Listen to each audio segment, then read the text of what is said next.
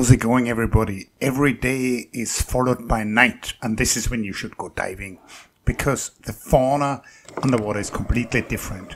This is a blackfin snake eel, which is actually a long fish, about a meter long, and during the day you usually just see the head sticking out of the sand. So him roaming around at night, this is a rare sight. This is rare footage. Now, at night you also see a lot of mollusks. The mollusks in German are called the Weichtiere or the soft animals, and a part of them are the gastropods, the snails, and the slugs. So these two sea slugs are mating. So you can see two of them, and one is following the other, and they're connected. And the interesting thing about their sex lives is that they're hermaphrodites. So the each animal is a functional male and female at the same time.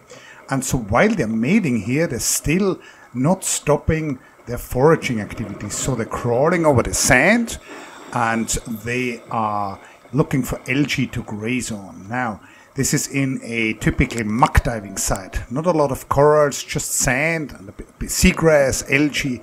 And so the currents are often strong in these muck diving sites. And then these two sea slugs got uh, kicked over. They were uh, drifting away a little bit from the current, but now they got a hold of the sand again and they continued mating. So good luck to them. Now, also a part of the mollusks are these cuttlefish. Now, cuttlefish are cephalopods, relative of the octopi, squid, and they are very complex animals with complex behavior. You can particularly see the color changes in these. Now, sometimes they have this very striking coloration, and then within a couple of seconds, they change color to camouflage themselves to fit into the sand, like what just happened now. These are little circular muscles in the skin which either relax or contract, and that changes the color. Now you can see this individual uh, moving along by the undulation of its fins and it's on a hunt. So these have eight arms and two hunting tentacles.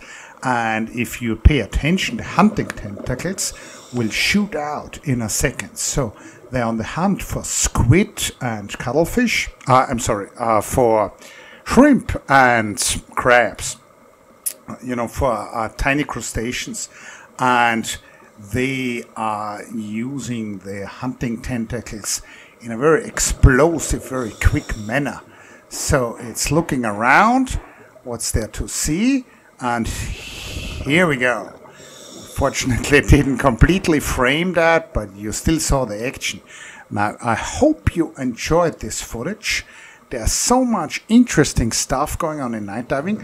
Uh, stay tuned. There will be a big cephalopod video coming out uh, within the next weeks. And also stay tuned for our newest book. I wrote this with James Reimer. We're in the last stages of this. So the, the copy editing and the Layout is going on now. This is about 25 environmental problems, each explained in the form of a dive briefing. So, see you soon.